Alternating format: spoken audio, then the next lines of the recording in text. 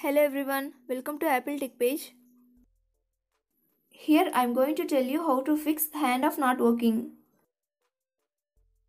Solution 1 is disable and enable handoff option. Launch settings app on your iPhone or iPad. Now tap on general.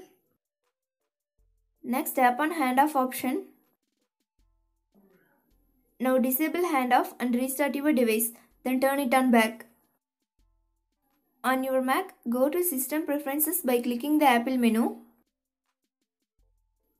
Find and click on General. Uncheck Allow handoff between this Mac and your iCloud devices. Then restart your Mac and check the box again. For Apple Watch, open Watch app on your iPhone. Find and tap on General, then turn off Enable handoff option.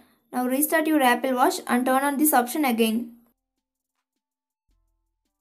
Solution 2 is turn off and turn on Wi-Fi and Bluetooth on your iPhone, iPad, Mac or Apple Watch.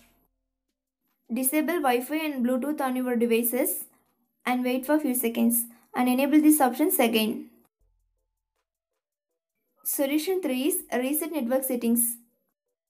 This problem may occur because of your network connection. Do reset network settings and again connect to Wi-Fi. To do this, launch settings. Find and tap on general. Next tap on reset. Now select reset network settings. On your Mac, forget Wi-Fi network and reconnect it. To do this, click Apple menu and select System Preferences. Now select network. Here select Wi-Fi and click advanced. Select your Wi-Fi network name and click minus icon and click remove. Then click OK and click apply.